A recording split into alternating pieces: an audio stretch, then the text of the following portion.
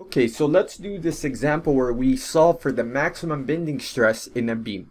So what we have here is a commercial 2x10 wooden beam and it has a 10 foot clear span and carries a concentrated load of 1400 pounds as shown in the figures below. So this is our beam. It has a load, a concentrated load of 1400 pounds. It's 2 feet away from this end, from this support, and the length is 10 feet and we're given the cross section here for this 2 by 10 beam. So it's a 2 by 10 nominal dimensions in this case. These are the nominal dimensions. What we're given in the cross section are the actual dimensions. So we're going to use the actual dimensions when we're doing all the calculations. Note that we're going to use these actual dimensions when we're doing the calculations for the 2 by 10 wooden nominal dimension beam. And we're told here to assume adequate bracing and to find the maximum bending stress in PSI is most nearly what? So we're given answer choices down here and we're also given the shear diagram, which is nice. Or we could simply draw that. In this case, it's relatively simple, but here we're given the shear diagram for this example. So what do we need to find? We need to find the maximum bending stress. So the equation for that can be arrived at by using the handbook. So I'll go to the handbook. You might have this memorized. You might not. But we're going to go to the mechanics of materials section. You can type in bending. Control F. Go to bending. So here we have the beam section. You can go down. This is the new FE handbook 10.0. And we're going to look at stresses for beams and it's going to be on page 136 and we know here the maximum normal stresses in a beam due to bending is going to be arrived at by this equation. Take our moment times our C value, C is the distance from the neutral axis to the outermost fiber of a symmetrical beam cross section. In this case, we do indeed have a symmetrical beam cross section. So it's just going to be the total height divided by 2 to the outermost fiber. And I is going to be the polar moment, the moment of inertia, sorry, of the cross section. So that's the moment of inertia of the cross section. It's just a rectangle in this case. So we're going to use this equation. Let's write that down. So our maximum bending stress normal is going to be plus and minus mc over i. And we do the plus and minus because we know on top we're going to have compression, on bottom we're going to have tension. Meaning, so let's say I draw the neutral axis. In this case, it's symmetric, so it's going to be strictly in the middle. 9.5 divided by 2 in the middle. So that's our neutral axis. Above the neutral axis, we're going to have the compression. So we're going to have compression, and compression goes to the left. And below the neutral axis, we're going to have tension. And we know tension goes to the right. So we have tension and it goes to the right. Compression is going to be negative.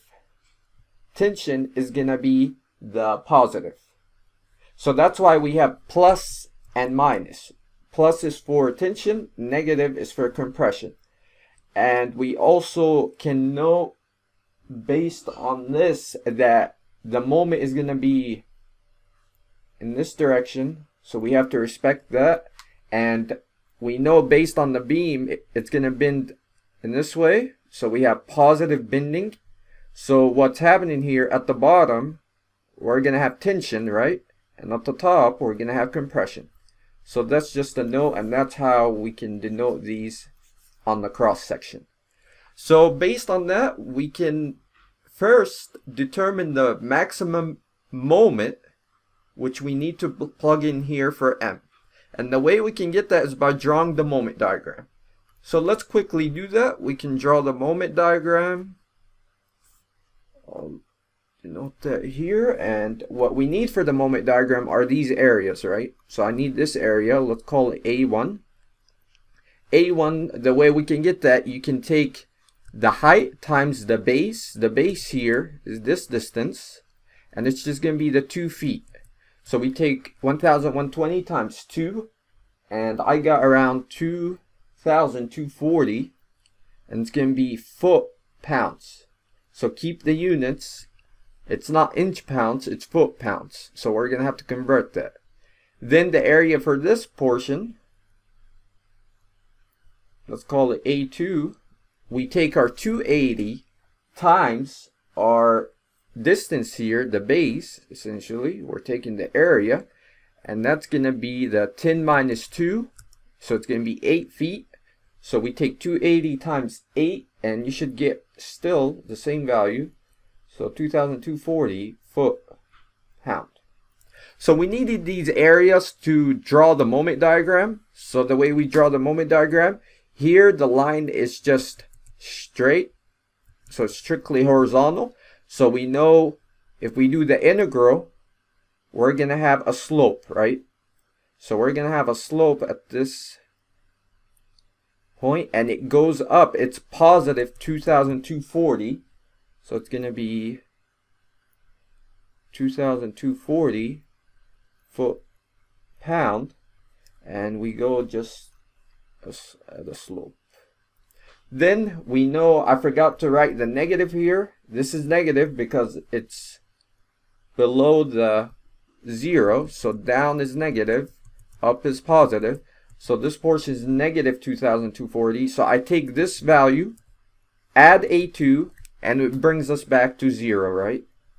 So you just go back to zero. So it's relatively simple. You don't even have to draw the moment diagram. I'm just denoting it here. You could have just taken this value, like graphically you might have already known that that's going to be the maximum moment. But note here it's in foot pounds. We need it to be in inch pounds when we use the equation here. So we need that. So this is going to be our maximum moment. And we're going to plug that in here for m. So after having that maximum moment we can go back to this equation. Our maximum bending stress is going to be plus and minus. The maximum moment is 2000 240 foot pounds. We need this in inch pounds because we want the final answer in PSI. It's pounds per inches squared. So we need to take out that foot. So what you can do here, we know one foot is 12 inches. So you can simply multiply by 12. So that's this portion. Then we take our C value. Our C value is just going to be the distance from the neutral axis to the outermost fiber. So this is our C value here for the top portion, and this is the C value for the bottom portion. In this case, the C value is going to be the same for both the compression and for the tension. So we're just going to plug in that value since it's symmetric. So you do 9.5 divided by 2. So if I do that, I got 4.75 inches. Inches. And all of this is divided by the I. I in this case, we have just a rectangle. So for a rectangle, I is 112 base times height to the third. So it's always 1 over 12. The base in this case is 1.5. 1.5 inches times height. The height is 9.5.